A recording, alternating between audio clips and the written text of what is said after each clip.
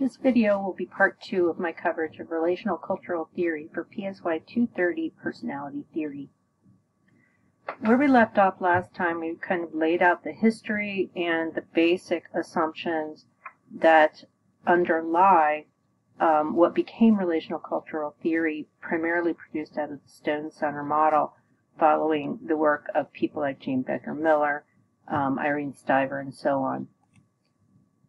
Now we're going to move into, um, we have a couple of, of big issues to, to, to, to talk about here, and one of those is making clear that we understand the difference between the way these theorists talk about the self and the way traditional theorists, such as, as the ones we've covered so far, identify the self.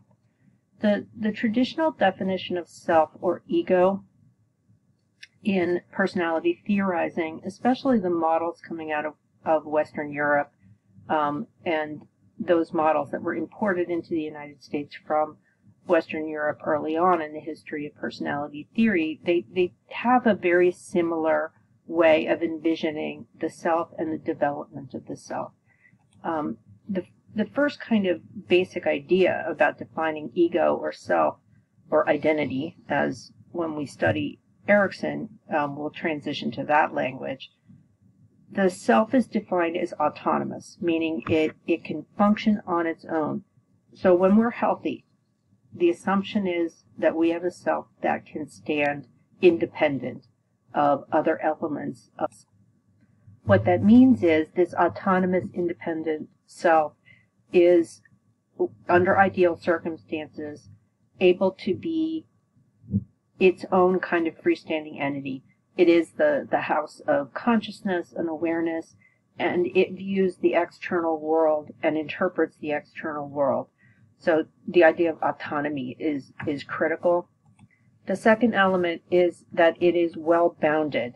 So healthy self, healthy ego, in traditional Western psychology models, is is um, a non-porous thing.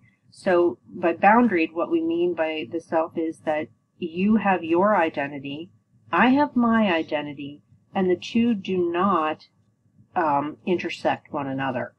Now think about the context of a of a tight, intimate relationship, either um, a love relationship between partners, or say a best friend relationship, or a very deep, intimate relationship between siblings, for example. Um, imagine if the self, when defined as healthy, is boundaried, that intimacy has limits.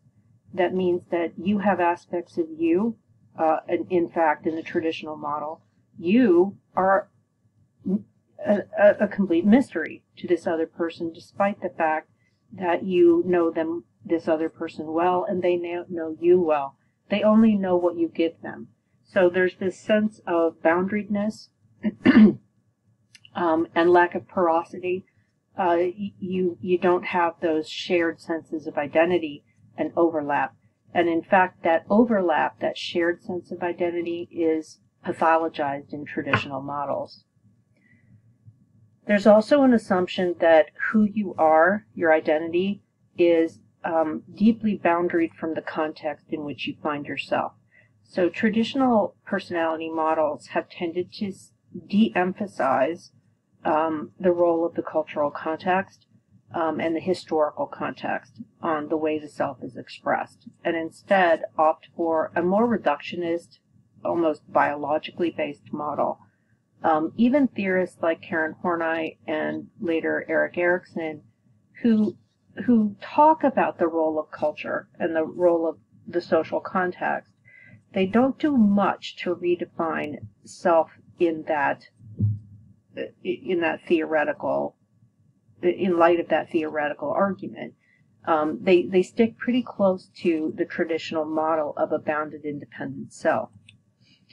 Um, there's also an assumption developmentally that, uh, and this is like the side of cognitive development that emerged out of that very traditional vision of the self, is that over the course of development, people move in steadily in the direction of greater um, use of logic, greater use of um, intellectual uh, thought, um, and therefore, you know, using that logic and intellectual ability to demonstrate self-sufficiency. So there's a real strong um, sense of pathologizing dependency and connectedness. So needing someone is seen as flawed. Um, wanting to be with others and needing to be with others is seen as flawed.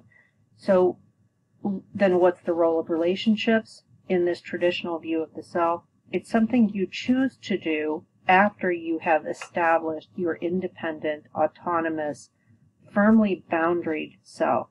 Relationships are almost seen as a threat to that independence and a threat to that boundedness. People are assumed to be neurotic if their boundaries are weak, if their sense of self is interdependent. Um, and, and it's assumed that you are losing your logical ability to see the world for what it is if you lose those boundaries and some of that autonomy.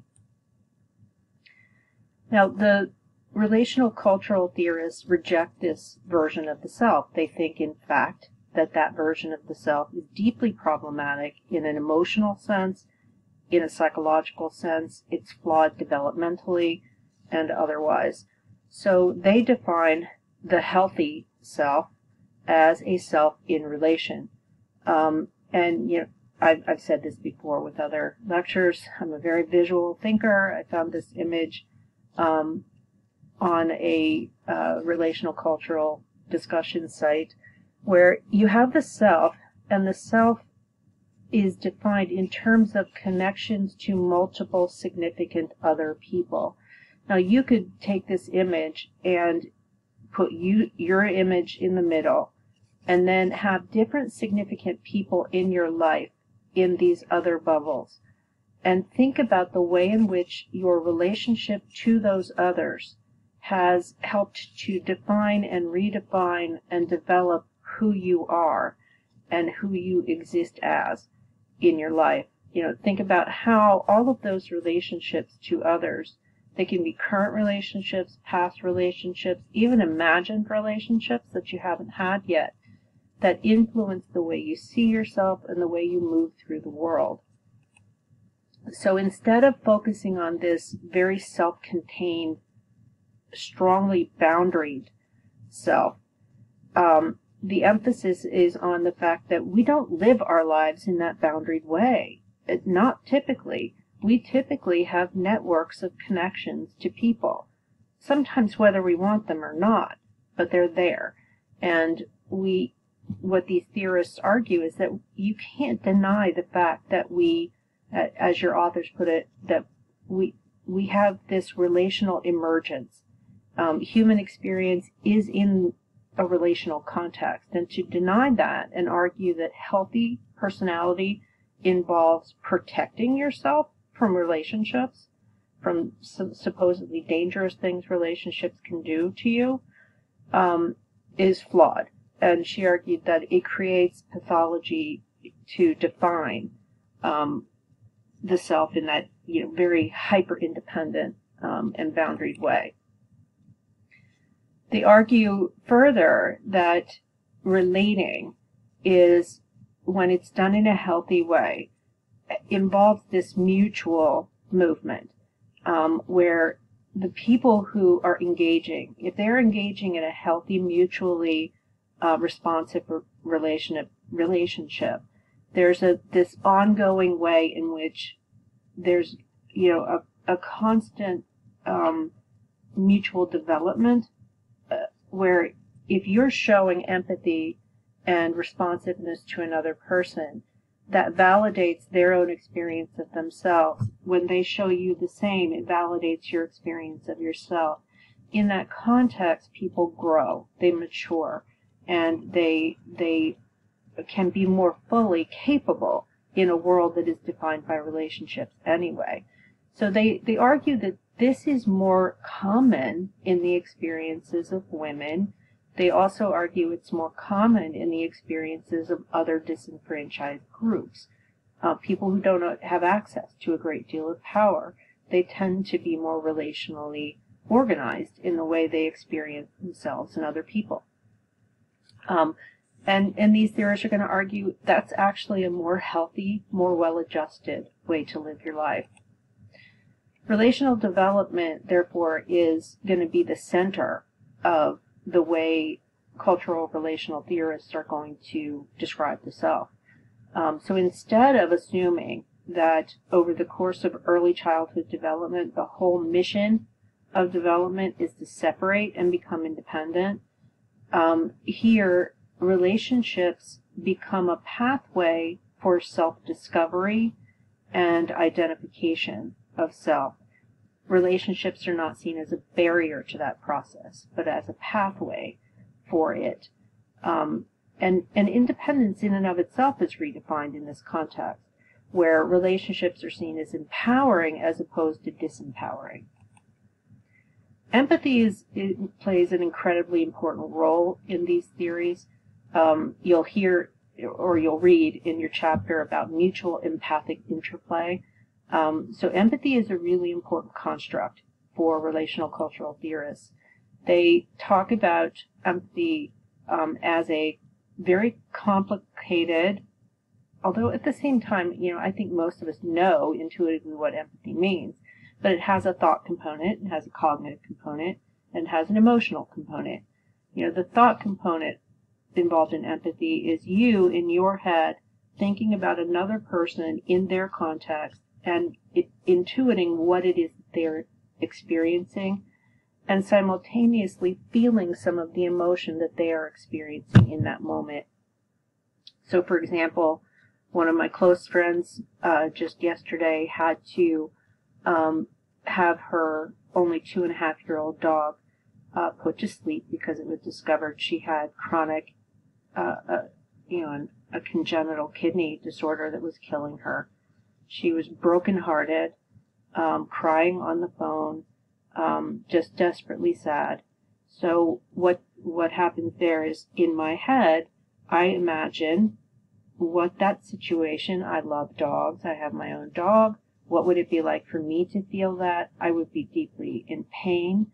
And I feel some of that, not directly because it's not my dog that's died, but I know what it's like and I can imagine what it's like. That is empathy. So it's your authors describe it as a complex cognitive affective ability. That word ability matters here. We have to learn empathy um, because it requires that you be able to put yourself in another person's pers- uh, point. It, it involves you taking the point of view of another person, but also connecting to them emotionally. There is a motivational component to it. You have to want to know what another person is feeling. And there's a vulnerability to it. Um, you know, think about the last time you became emotional, whether it was laughing with joy or maybe becoming weepy when you watched a, a really good movie um, or TV episode or even a commercial for that matter. You have to be motivated to open yourself to that, and that's part of the model here is that People are at their best when they are capable of empathy, when they are empathetically engaged and interested in other people's feelings. There's also a perceptual component. Um, you have to be able to pull in and make sense of the the verbal and nonverbal cues that human beings give that give you an open door to kind of see where their emotions are at. Um, you know, in, in the case of my friend and her phone call to me, uh, it was obvious that she was in emotional distress. Other times, you're just not quite sure. Maybe someone looks a little tired, a little frayed at the edges. Um, and you you start to feel a little concerned about where they're at in their in their heads or maybe you see someone and they just seem overjoyed so you ask the question you seem overjoyed what's going on there? You know so we have to be able to perceive what's there. Um, and then there's there's also the this the raw emotion component. Um, human beings uh, along with a very short list of other species appear to have evolved the capacity to um, feel emotions in concert with others. Um, from a neurological standpoint, all three components, the motivational, the perceptual, and the affective, appear to have a neurological basis. Um, we have specific kinds of neurons that make it possible for us to have similar experiences at a brain level when we perceive emotion in others. Um, when we are motivated to inquire, when we're motivated to search for this information, those brain areas tend to light up um, because we're we're actively seeking it. Now there there's an evolutionary reason for this. Empathy is protective. When you are able to get into the emotional headspace of others, you have the ability to predict and understand their behavior. Um, if you, for instance, can intuit that another person is really, really mad at you, that's a good cue that, you know, either you have to take combat stance or you need to move away. Um, if you are intuiting that another person is deeply sad, that's a different set of cues and so on. Now, we also have to add in here the cognitive component, and, and again, we have evidence that as a species, we've evolved this capacity to then make attributions. We have to make judgments about why people are feeling what they're feeling. Um, when we do empathy work well, what we're doing is asking a lot of questions and validating other people's emotions and their experiences while we seek information and deeper understanding. Empathy is really what drives human connections. Um, and, you know, as I, have said, human beings appear to have evolved the capacity for empathy as a part of their, uh, as a part of our species. And it is a key element in our ability to live communally and successfully as a species. Now, for the relational cultural theorists, they talk about connection in terms of this concept of mutuality. So healthy relationships have this quality of mutuality. Um, and it requires a certain degree of being willing to and open to people's potential for growth, their potential for change. Um, so they're going to argue that there's a very specific kind of healthy relationship that fosters emotional growth and development for all people involved in that relationship, regardless of whether you're talking about a therapist client relationship or a husband wife relationship, um, or, you know, if you're talking about a stereotypical, um, not stereotypical, a traditional um, intimate relationship, or any other kind of relationship. It could be a sibling relationship, friend relationship, uh, a boss and employee relationship. Those relationships are healthiest when the people engaged in them are open to change and growth and they see themselves as a part of the change and growth with all those in their interaction circles. The focus here and they, they use this word movement a lot in, in this theory. They, they talk about the idea that you're constantly in motion in your relationships. Um, so your sense of self is always in a con- constant state of development. You know, in contrast to kind of the Freudian assumption that you you develop across childhood and then it's relatively static. There's not much happening after that. Um, and Erikson's model that we'll see coming up soon once you, you move beyond these crises, backwards isn't really part of the thought process there.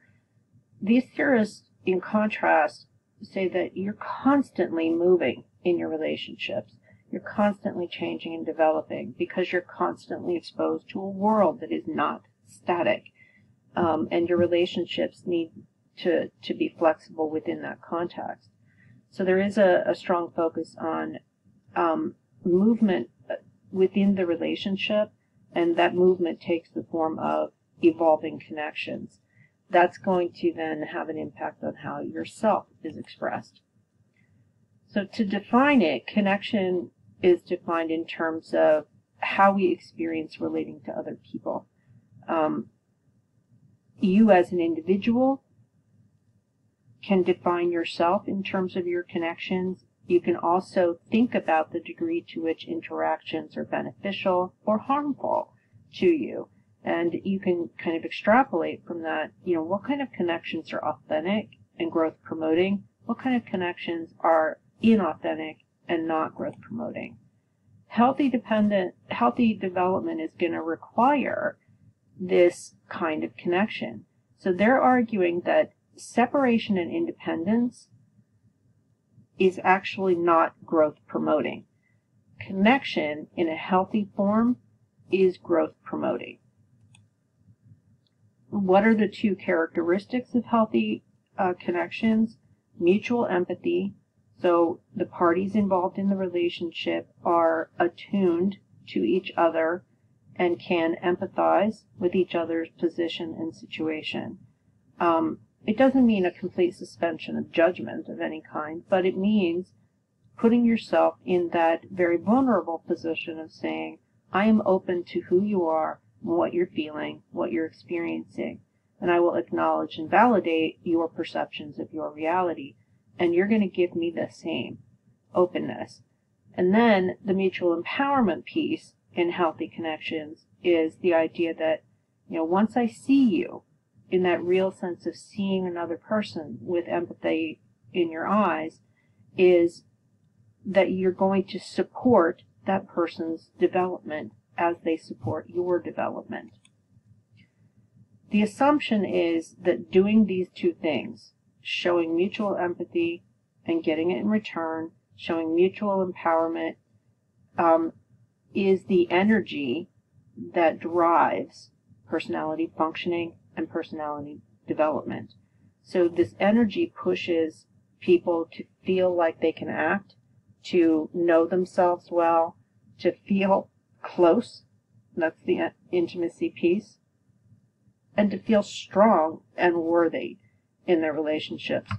You know how it is if you have a relationship with another person where you, you feel they know you, they see you, they understand and value you, and that when you connect with them, you feel energized, you feel understood, and simultaneously you feel you understand and see that other person and validate their experiences. Those are relationships that are routinely described by people as the most important relationships in their lives because they are deeply connected. So how do these theorists up think about psychological growth? They think about it in terms of how people respond to each other. Healthy psychological growth is when you're treated to, for the most part, a lot of mutual empathy and empowerment. Um, and they refer to this concept of mutual empathic interplay between partners. You know, sometimes you're the one who right in the moment really needs a lot of support and you get a lot of mutual empathy and empowerment from someone with whom you are interacting. Other times you're on the the end of providing the empathy and the growth for the other. Um, so it's it's interplay. It's a dance that people have to engage in. And it may not always be the same person with whom you're having connections. You can have a connection that's fleeting and brief and it doesn't involve someone you even know but you're connecting in a meaningful, empathetic, and growth promoting way. Um, so even those experiences matter a great deal. So what's critical for healthy psychological growth and development is being having the opportunity to engage with others who can show you empathy and who can show you that they are there to empower you um, and by doing that, by having that in childhood, you learn to do the same for others. Um, and, you know, for, for these theorists, that is far more health promoting than separation and independence. Because what are you learning in an independence and separateness model? You're learning how to dominate other people or you're learning how to be submissive. And these theorists think that that's unhealthy, both of those roles that are so forced upon, particularly for you know, they these are feminist theorists. They felt that women were often pigeonholed into a submissive role, and adjusting to it meant showing psychopathic psychopathological traits. And I don't mean that in the sense of a psychopath like serial killer. I mean the the experience of negative psychological outcomes like anxiety and depression and so on, and self harm, for example.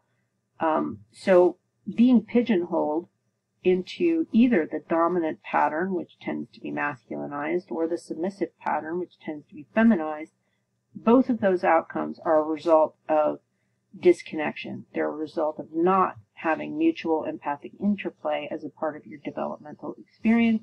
Therefore, you don't learn how to use it with other people. Therefore, your relationships with other people will be characterized by repeated disconnection. A little more about this interplay, and this comes from Jean Baker Miller. Um, and, and I've given you the long quotes here.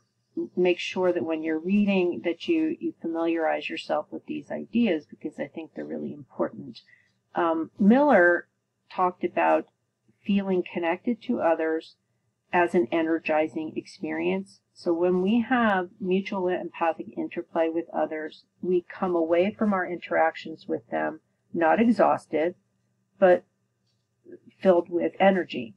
Um, and that means, you know, feeling um, a deeper sense of connection. The fact that there's energy there and the energy is perceived positively, because I know you've had the experience of you're having an interaction with someone and you walk away from that interaction absolutely exhausted or angry or anxious and unsettled. Those are our energy sapping emotions. Um, when we feel deep connection to others that are mutually empathic with us, we tend to feel um, energized. And that energy, Jean Baker Miller thought, was a signal that this is a growth possibility. This relationship has growth potential for you. When you are experiencing mutual empathic interplay, you're experiencing active involvement in the relationship itself. And the people in that relationship feel empowered. They feel open to take risks and to grow beyond that relationship. Um, in in mutually empathic relationships, you also have people who feel like they know each other, know, they know themselves better after their encounters with each other. So as opposed to you know a, a version of relationships where people are pigeonholed into roles, where one is more dominant and the other more dependent, um, you don't come away with the relation from those interactions knowing any more about yourself other than did the interaction confirm my role status? Um, you're not really showing development within that context. So, um, mutual empathic interplay means really getting rid of those stereotypical assumptions and allowing people to grow without the boxing and pigeonholing. When mutual empathic interplay occurs, it tends to drive up individual self-worth. So when you feel heard, and you know this from your own experiences, when you feel like somebody truly gets you and understands you and values you in, in your whole, even when you're at your worst, it, it allows you to feel better about who you are. It, it allows you to feel, even when you're at your worst, you still have self-worth. Um, as a result, you want more connection with that person.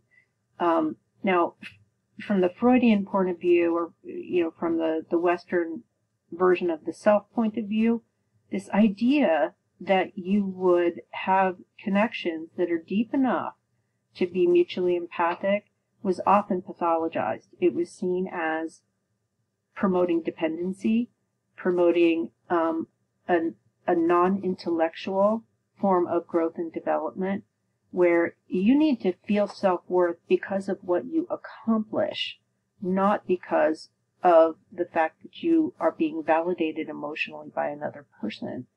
So it, it's a very masculine Western culture model that these theorists like Jean Baker Miller are directly challenging. So disconnection, as I've mentioned, disconnection is for these theorists the root of um, psychopathology, of uh, neurotic functioning. Um, we're going to grow ineffectively, inappropriately, if we're treated persistently to disconnected relationships. Um, disconnection happens when people are either blocked from relationships that involve responsiveness, mutual responsiveness, um, or when their role definition is so restrictive that they can't participate in mutually enhancing relationships. Now, they argue that, you know, strongly gender normed interactions have tended to push people in the direction of relationships characterized by disconnection, um, really strongly characterized by disconnection. So the traditional sort of gender model of having dominant masculine person paired with a feminine dependent um, person who does most of the empathy work but doesn't get it in return it is you know at, on its face a disconnected relationship he also argued that some of the traditional psychological model which expects children to move steadily in the direction of separation and independence actually forces children to move away from a natural um, tendency toward connection and instead to become hyper self reliant and competitive in nature. Now, disconnection can take the form of overt abuse um, and neglect, um, but it's oft, often much more um, hidden and normative than that. Um, they argue that a lot of the, the ways in which, you know, most of these theorists were American, most of the way in which we've been taught to engage in interactions with our kids has been characterized by um, not so subtle uh, demands that our kids be freestanding and independent and self-reliant earlier than is po- probably developmentally appropriate.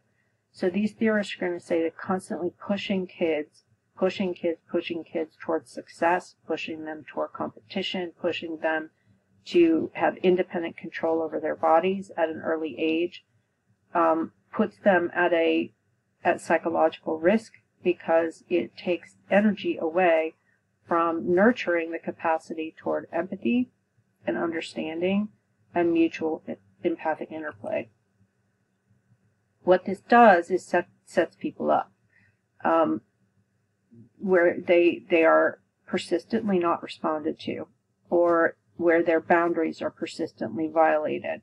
Um, that can lead to isolation. It can lead to depression. It can lead to fearfulness. It can lead to a whole host of problems, which were the typical problems that they were see- seeing in the clients that they were working with particularly women and people from other um, uh, identities that were not seen as being in power. Now, what happens to people when they're repeatedly disconnected, um, when they're exposed? And this is not just in childhood, it's in your adulthood as well. When you are constantly exposed to repeated disconnection in a relationship, um, that experience can damage your definition of self. Um, and, and, it can redefine how you're looking at relationships. You know, you probably use the phrase in describing someone you know, this person has trust issues. Um, well, that, that kind of commonly used phrase, it, it hits here, why does someone have trust issues? Well, you develop trust issues because you've been repeatedly treated in a way that proves that trusting others is unreliable, that you're going to get hurt in those experiences. So re- repeatedly not getting the kind of mutuality that they argue is required for human growth and development is going to lead you to hyper need for independence, um, an intense desire for boundaries, and a lack of ability to show empathy and mutual support to others. Repeated disconnection can also, and this echoes something that Karen Horney argued in her description of self idealization as a solution to the pressures of, of social norms and expectations. Repeated disconnection leads people to create a version of self that they think will get them more of what they might need in their world. So if you take traditional gender roles for relationships, we tend to push boys and men in the direction of a masculine model of dominance and control um, and mastery. We also tend to uh, socialize girls and women to take responsibility for the emotional labor within relationships. We have been, you know, in American culture, kind of pushing girls and women toward um, this hybrid model of being competitive and strong and independent, but at the same time, emotional and um, loving and connected while simultaneously not giving them that back in return. So repeated disconnection experiences like that can create a false sense of self of what you need to be in order to be seen as worthy. Um, and they argue that obviously that's going to create mental health problems.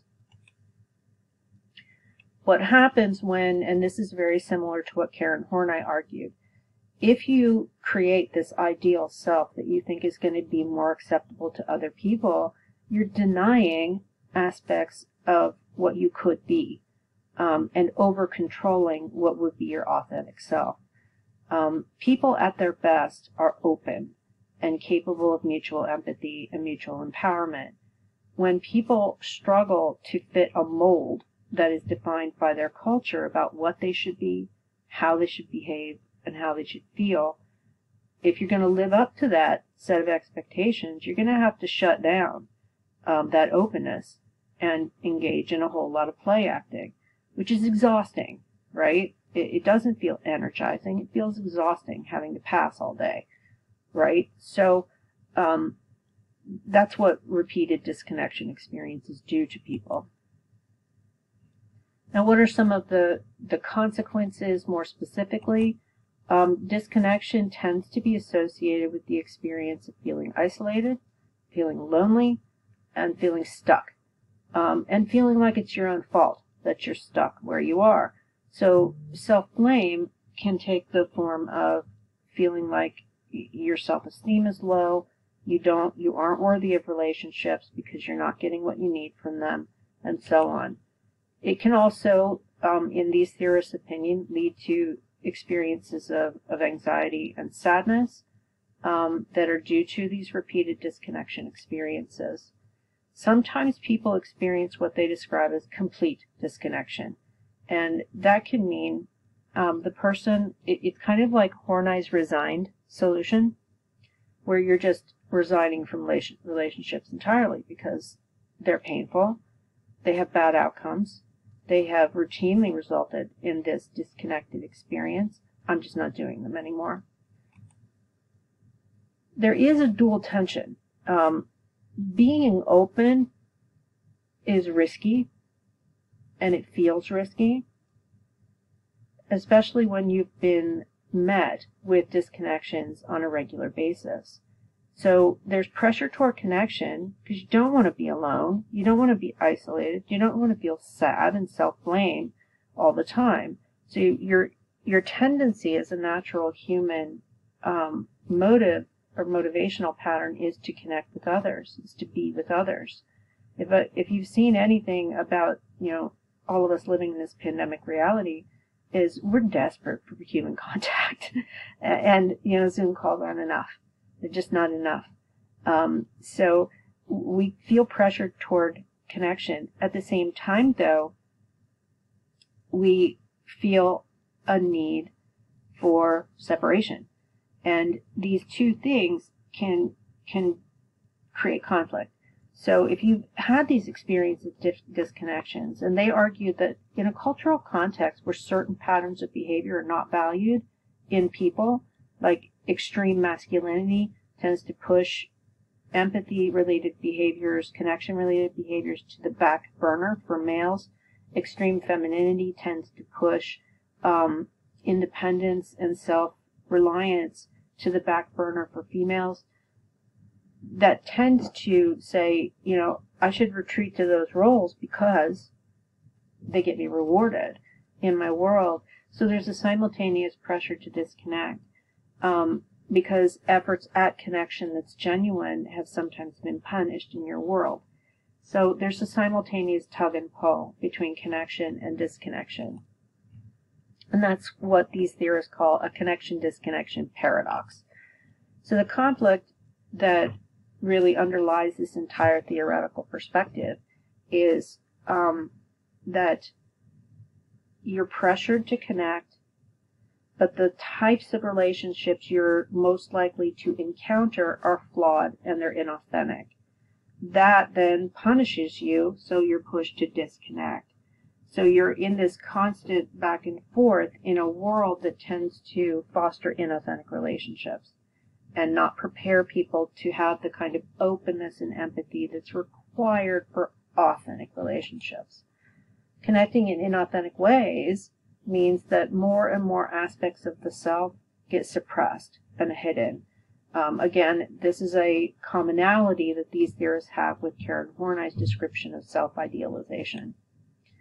Over time, if this continues to occur, if people have enough repeated disconnections um, and they become habituated to it, they move farther and farther away from their own authentic experience which means they lose any capacity they had to offer empathy to others and to offer mutual empowerment to others. They also start to lose the capacity to be open to their own experiences. When we are motivated to, to authentically connect, so, you know, the process of therapy often involves teaching people what authentic connection should look like um, by modeling it within the therapeutic relationship. So you're you're teaching people what an authentic connection might feel like, and how to engage in mutual empathy and mutual empowerment. That that can turn people around. Um, so, it, but it still can be difficult when the people around you mostly want the surface. They they want to remain emotionally unavailable, which is what that hyper-bounded, separate, independent self looks like. Um, but it's going to be deeply unsatisfying for you from a developmental standpoint. What what may happen, you know, in the face of this connection disconnection paradox, particularly in a cultural context that doesn't value um, authentic relationships that are characterized by mutual empathy and mutual empowerment, they may choose the safer path, which is these restrictively defined um, roles that people are expected to play, which means they're going to, because of the roles that they are playing, they're constantly exposed to dis- disempowering relationships. These repeated disconnections then lead to the outcomes we've already talked about. Psychological problems, therefore, are going to be defined by these theorists as defense mechanisms that prevent the person, make it difficult for the person to recognize authentic connection when it's offered to them and to seek authentic connection from people who are open to it. That's essentially the paradox. So people may be conditioned to feel more comfortable in inauthentic relationships they may fear authentic relationships because they are a threat to that, that very deeply enculturated model of what they're supposed to be and who they're supposed to be. So they may, may feel pressured toward the inauthentic, but at the same time, they're suffering emotionally because of it. The family conditions that tend to prompt this, um, these theorists, you know, if you if you read their books, you'll get a lot more specific information about the family conditions, but generally speaking, um, when children are exposed to non-responsiveness, when parents are authoritarian, or when they are permissive, they tend to learn that the only way to, to make some kind of connection is to do so in inauthentic ways. So perhaps by becoming a representation of what's idealized.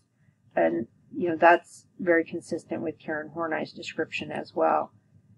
It, and children who grow up in that kind of context, that tends to be anxiety provoking. So what you end up with is a child who is um, anxiety driven as opposed to connection driven um, in attempting to uh, have a relationship with adults or siblings or friends who seem to have a mysterious set of standards for them.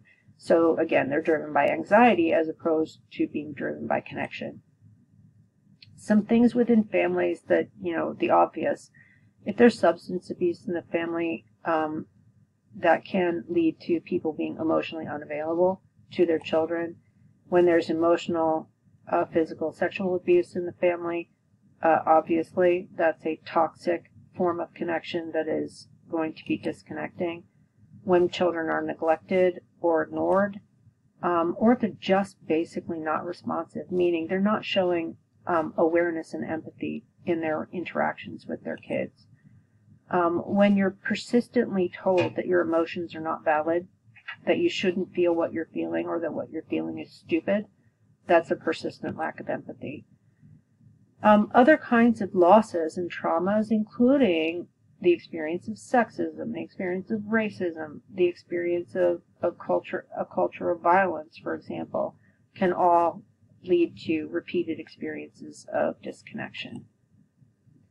Psychotherapy in this model, as I've mentioned before, the, these theorists, um, the, especially the Stone Center theor- theorists, tended to focus on issues like anxiety and depression, um, addiction, even um, self harm, though it wasn't described as that at the time, but also dissociative issues and personality disorders. The therapy requires, unlike the traditional early um, versions of psychoanalysis, mutuality is assumed. So the therapist is assumed to be the the dominant in the dominant role of I know more than you and I'm going to tell you what you should be feeling and why you're feeling it. Um, instead, therapy creates a safe space where people can experience open um, mutual connections. So it, it, a lot of it involves, you know, modeling. How can I have an authentic con- connection with another human being when my world has so often treated me to disconnection? So what happens in therapy, instead of the more um, pedantic approach of I'm going to interpret you, I'm going to dig around in your past and discover your traumas, then I'm going to interpret them for you, and then I'm going to tell you why you're being defensive, and we're going to try and shape you into a less defensive form of behavior.